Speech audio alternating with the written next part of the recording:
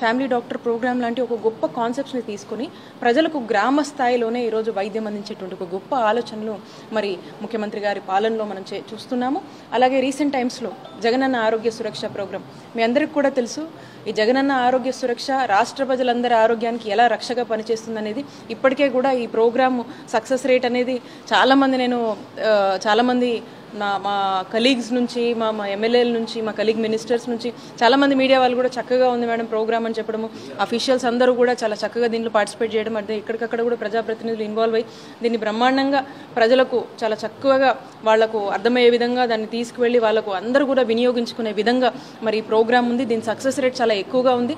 దీని రిజల్ట్స్ కూడా మీ అందరూ కూడా ఇప్పటికి మీ మీ దృష్టికి కూడా వచ్చే ఉంటుంది. కాబట్టి ఇలాంటి వినూత్న ప్రోగ్రామ్స్ ఒక కొత్త ప్రోగ్రామ్స్ ప్రజలకు మరింతగా వైద్య సేవలను చేరే చేసే దిశగా మరి ముఖ్యమంత్రి గారు వేస్తున్నటువంటి అడుగులు మీ అందరూ కూడా చూస్తున్నారు. కాబట్టి రాష్ట్ర ప్రజల ఆరోగ్యమే ఆరోగ్యానికి ఆరోగ్యానికే మంచి మెరుగైన ఆరోగ్యానికి ప్రాధాన్యత ఇస్తూ ఈరోజు జగనన్న ప్రభుత్వం వైద్య ఆరోగ్య రంగం ఏ విధంగా ముందుకు వెళ్తుందో మీ అందరూ కూడా చూస్తున్నారు.